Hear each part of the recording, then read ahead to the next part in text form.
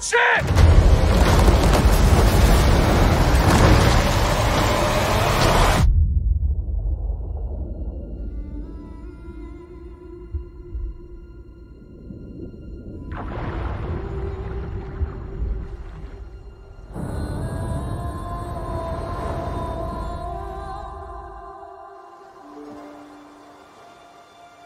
Code, man!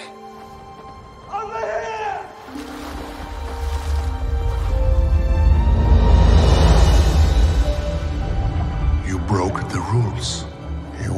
The above world. A man was drowning. I had to save him. This obsession with humans has to stop.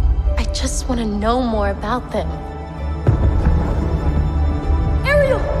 Don't! Poor child. I can help you.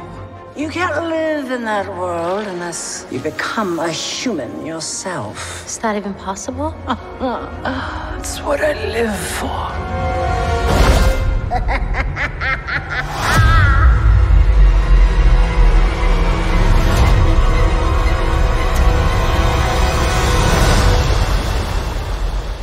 Something about you seems different. I can't quite figure it out. She got legs, you idiot.